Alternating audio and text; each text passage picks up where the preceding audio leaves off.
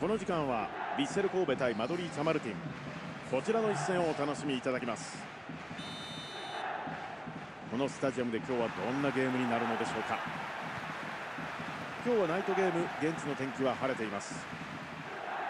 このゲームの解説は元日本代表ミッドフィルダー北澤剛さんです。北澤さんどうぞよろしくお願いします。はいよろしくお願いいたします。それでは今日のゲーム見てまいりましょうヴィッセル神戸対マドリー・チャマルティン。さあ北澤さん本日の試合どの選手が一番気になりますか？イスコですね。やはりあの足元のテクニックには注目ですよね。彼の持つアイデアとテクニックで攻撃にバリエーションをつけていきたいですよね。なるほど。相手の守備陣がどう対応するのかというところも見どころになりそうですね。こぼれた！メンディからこのフィードパスここはすぐ奪い返します。マドリー・チャマルティン。立ち上がりから非常に激しい攻防ですね。これは見応えある試合になりそうですよね。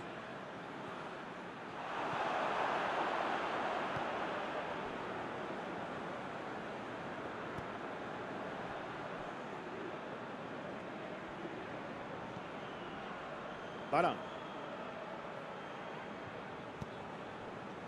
神戸は前半まだシュートまで行けていません。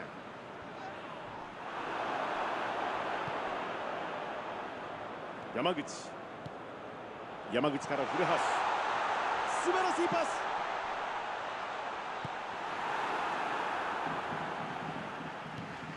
風見るから大きく縦さあつながるか？一気に前線にボールを送る。風見ろ。組み立てながら攻め上がっていく。拾いたい。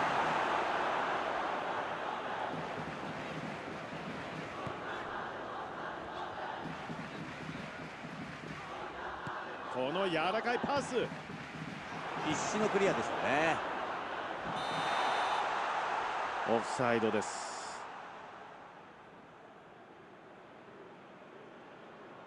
前半31分ですルトは大きく前線へ。ルーズボール。ハツセカズミルからのフィードボール。ファーストハーフこの終盤。両チームスコアは0対0です。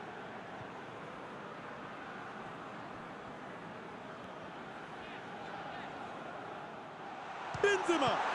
シーノーグいや北澤さんこれナイスセーブでしたね。いやよく止めましたね。ファインプレーですよね。ここで見せてくれました。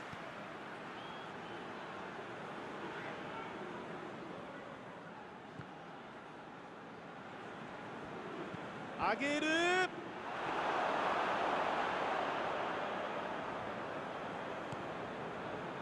セルジ・サンペル。合計右サイド上がっていく。スルーパスを狙う。藤本。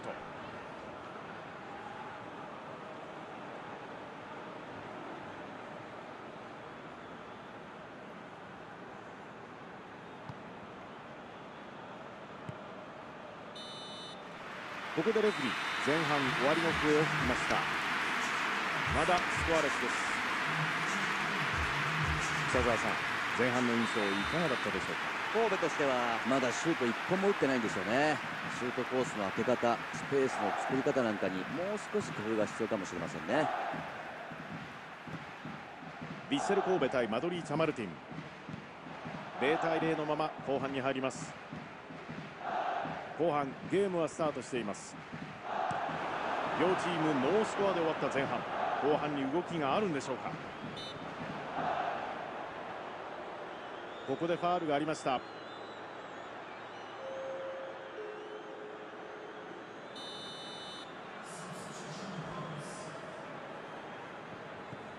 セルヒオ・ラモス。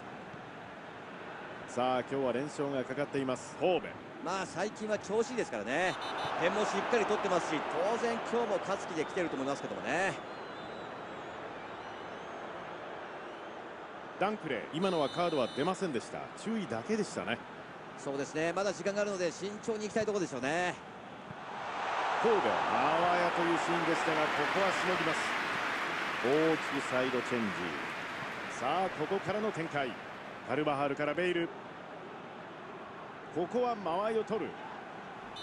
マドリー・チャマルティン。ここでファールをもらいます。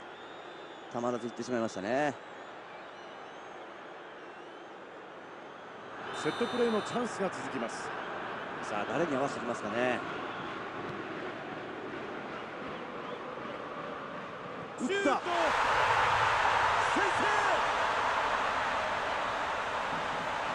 後半にゲームが動いています。いやーよく詰めていましたね。セカンドボールをあらかじめ予測しておく。非常にポジショニングセンスが光ったゴールになりましたよね。実に落ち着いてましたね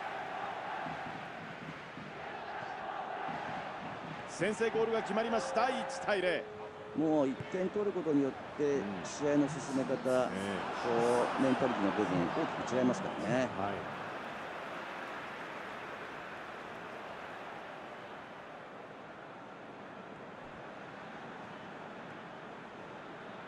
い。イニエスタが中央。頭できたクーバーカウンターベッセル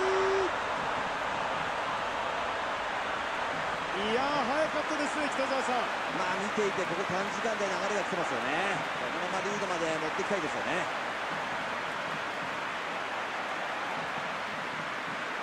クロスから頭で合わせ決まりました。いいシュートでしたね。焦らず落ち着いてしっ頭で決めてきましたからね。これで今日のゲーム面白くなってきましたいやこれすぐ取り返しましたよね、えメンタルの強さもありますしうん。これがきっかけで流れ変わるといいんですけどもね。そうですね。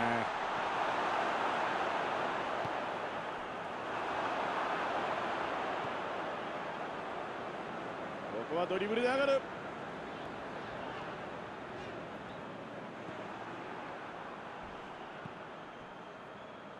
ここは通しません。イニエスタへ。裏へのスルーパスフェデリコ・バルベルデルーズになる。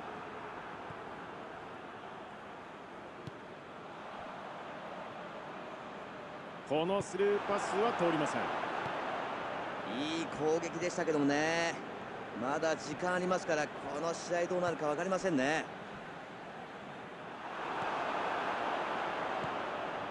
イニエスタ今日の試合でアシストを記録しています。裏へ届くか？さあ一気にカウンターいいとこまで攻めたんですけどもね。この終盤でのせめぎ合いは最後まで目が離せませんね。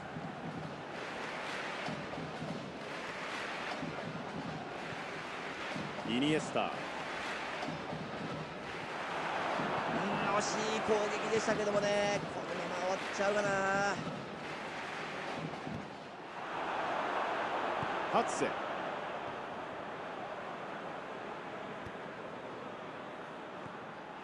うんいいとこまで行ったんですけどもね。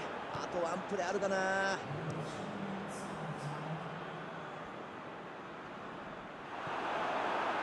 山口。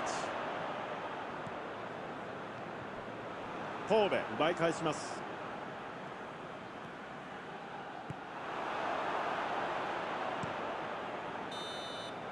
そしてここで最後の笛。1対1